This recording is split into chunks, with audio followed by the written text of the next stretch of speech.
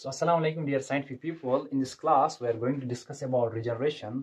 क्योंकि हम how do organisms reproduce class tenth biology अभी इसी की सीरीज़ चल रही है so we are done with the four different types of asexual reproductions like उसमें हमने फिशन पढ़ा, जिसमें बाइनरी मल्टीपल देखा, उसके बाद बडिंग देखा स्पोर फॉर्मेशन भी देखी नाउ वी आर फ्रेगमेंटेशन भी देखी इंस्पायर वगैरह and now this are my favourite even my favourite part that is regeneration क्योंकि Almighty Allah has done some favors to our body also that uh, some of the organs, just like liver, so it regenerates. It, it's having that regeneration power. So similarly, regeneration in some organisms, like uh, we'll give some examples like planaria. So it is the ability of organism to regain their lost body parts once they are cut.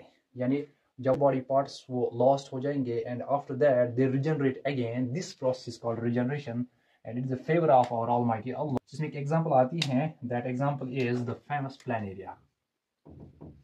That example is planaria यानी एक flat worm होती है ये this is a flat worm. Now coming to the example of this planaria अब इसमें क्या होती है ये process कैसे होती है let's see. So planaria को पहले discuss करेंगे तो इसके लिए इसको हम underline करेंगे The first very thing is that it's a multicellular organism. ये एक मल्टी सेल्यूलर ऑर्गेनिज्म है।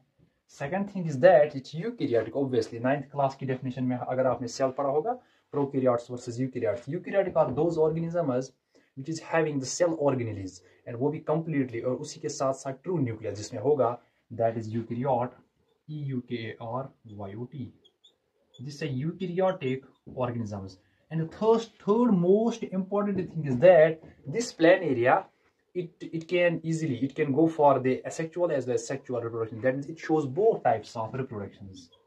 It shows both sexual as well as asexual reproduction. Just like euglena e-u-g-l-e-n-a euglena which uh, shows both types of uh, these uh, like autotrophs. That is that acts as an autotroph as well as heterotroph. So there's an exception. Similarly this is the most important point. It uh, it shows both types of sexual as well as asexual reproduction. And the main thing is that it's an aquatic animal. It lives in water. It's an aquatic animal. Okay. So the best example is that it's an aquatic animal and in this इसमें regeneration होती है अगर आप ऐसे बाकी organisms की which are to gent to show like for example lizard so lizard में भी कुछ रिजनरेशन पावर होता है in the tail Second thing is starfish. Starfish में भी होता है. So these are some examples of some macro uh, organisms. ठीक? So this is this is a multicellular, but still, and it's an aquatic animal. ठीक? Now coming to the next thing, अब इसमें regeneration होती कैसे है for example इसके लिए हम देखेंगे यहाँ पे so this our planaria अब इस प्लान एरिया में क्या होगा if for example suppose these are eye spots these two. These are ice spots now in this plane area what happens is that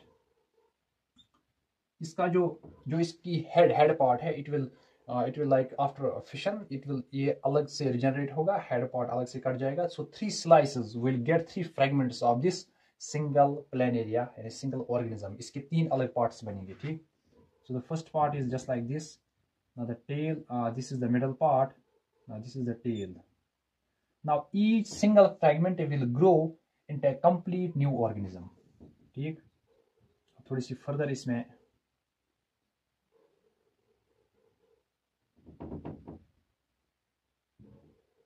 further इसका जो middle part है it will grow it will try to grow उसके बाद इसका जो tell है now each will grow into a new whole new individual so इसमें new individual बनेगा so this is our first similarly in this case this will be our second and this will be our third so these are the three respective new organisms of the single organism now this is whole about our regeneration part And uh, now coming to the next part that is vegetative propagation so it is a is a type of asexual reproduction जिसमें plants जो है they will reproduce and form new plants with the help of vegetative parts now vegetative parts ही क्यों reproductive parts भी तो हैं इसमें वो क्यों नहीं because they will go for the यानी they will do sexual reproduction चूँकि हम अभी पढ़ रहे हैं asexual that means वही parts involve होंगे एक plant के जिनमें सिर्फ़ asexual reproduction होगी और वो कौन कौन सा part है सर एक तो leaf दिख रहा है हमें उसके बाद सर सेटम भी तो है और उसके बाद रूटस। दैट जब ये लीफ कंप्लीटली एक प्लांट में ग्रो होगा that will be because of vegetative propagation जब एक सिस्टम कंप्लीटली एक प्लांट में ग्रो होगा न्यू प्लांट में that will be also a type of vegetative propagation another thing is by roots तो रूट से। अगर कोई चीज़ फ्लावर से ग्रो हो रही है that is not a sexual reproduction that is a of sexual reproduction keep this in your mind this is too important अब ये विजिटेटिव पार्ट्स क्या है vegetative are those parts where in a plant will be grown by the help of vegetative propagation otherwise agar flower se plant grow hua that will not be considered as vegetative propagation that means हमें flower की ज़रूरत ही नहीं है यहाँ that means हमें flower की ज़रूरत ही नहीं है हमें asexual reproduction दिखानी है and that will be only because of vegetative parts ठीक so that means हमें समझ आया and ये part क्या है this is the reproductive part this is the reproductive part and इसमें हमने पढ़नी है sexual reproduction in flowering plants simply like angiosperms ठीक अब इसमें अब इसमें क्या है इसमें सर दो किस्म की reproductions हैं first one is natural vegetative propagation first one is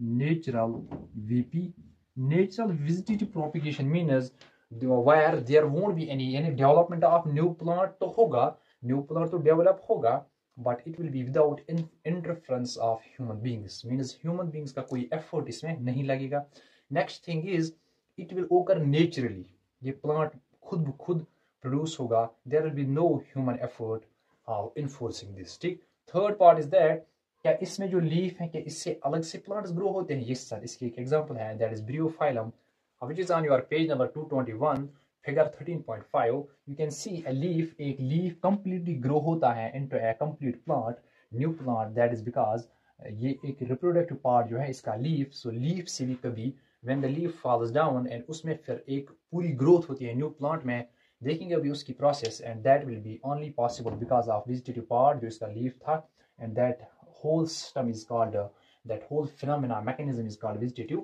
propagation and coming to the next thing like root or stem so stem से potato इसमें onion भी है इसमें lemon भी आएगा ठीक coming to the third part that is stem stem से sweet potato या guava produce होते हैं so that means this is only because of vegetative propagation so the natural vegetative propagation means then a development of new plant naturally without interference of humans that means इसमें पहली चीज ये है development new plant की होगी but without interference of humans second thing is that it grows naturally it grows naturally third thing is that इसमें कौन कौन से parts like suppose leaf leaf से एक प्लांट बनता है that is bryophyllum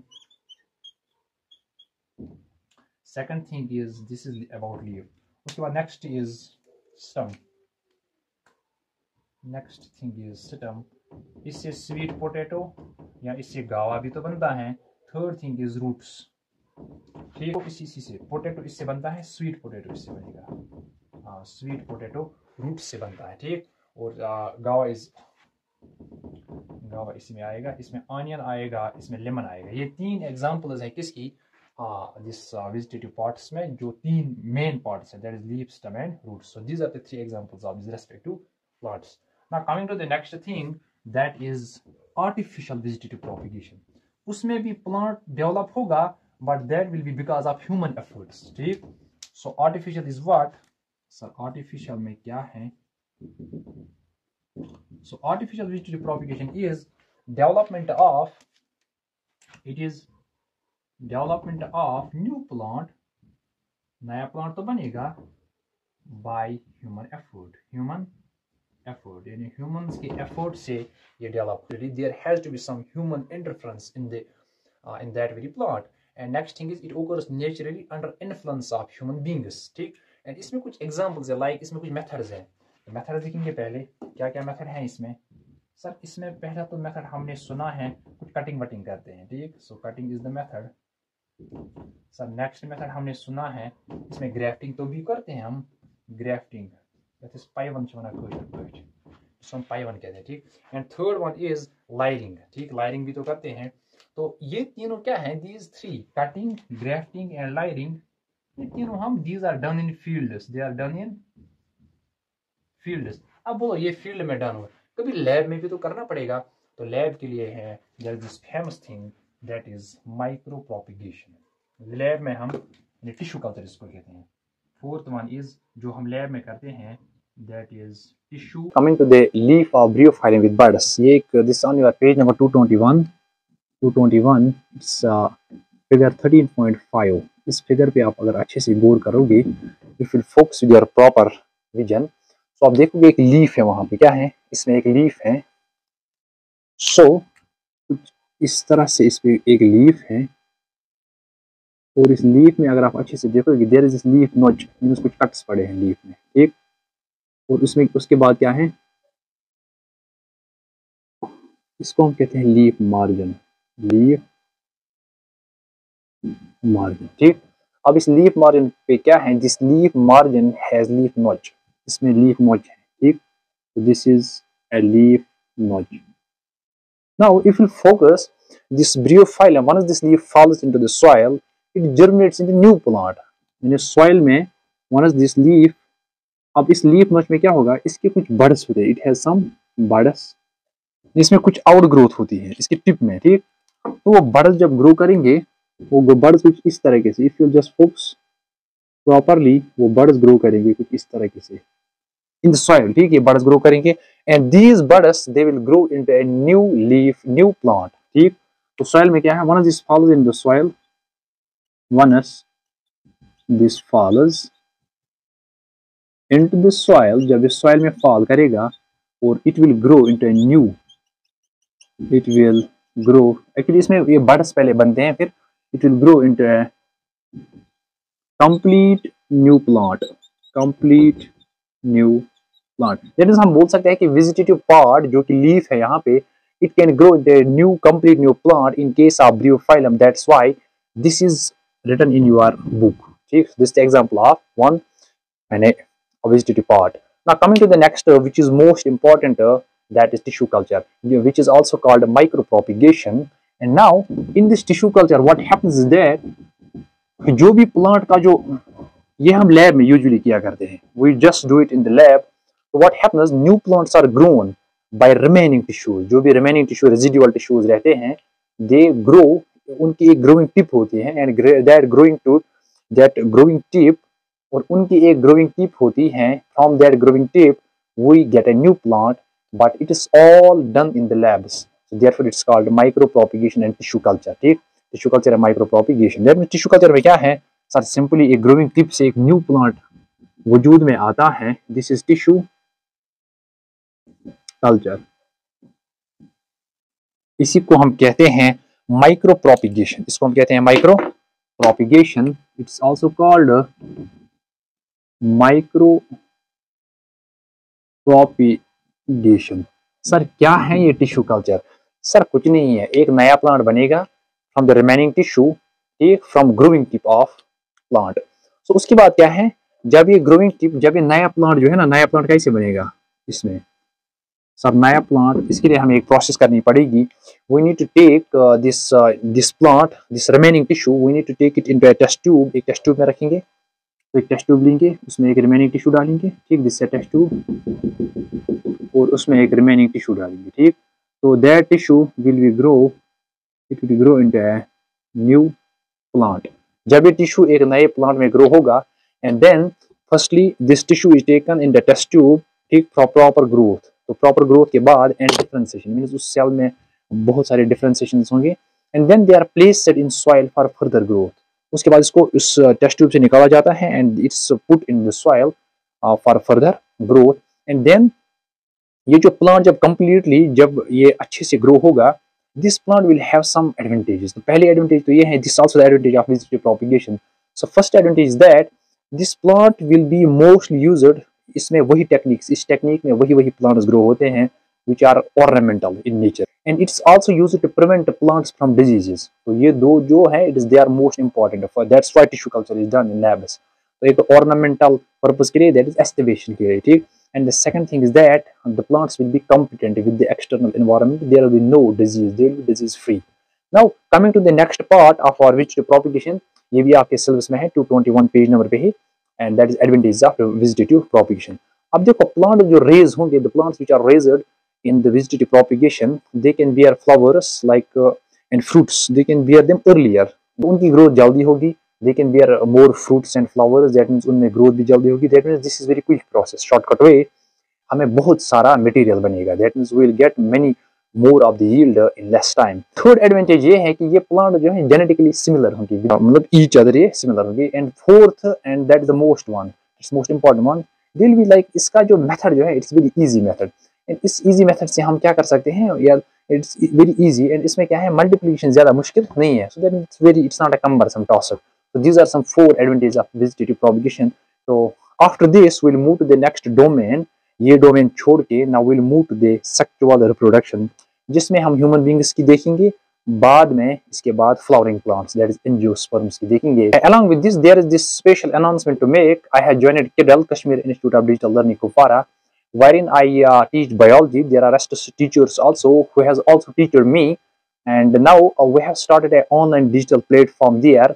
So with the name Kiddle K I D L you can join that so उसकी link description में होगी, ठीक है? Just follow that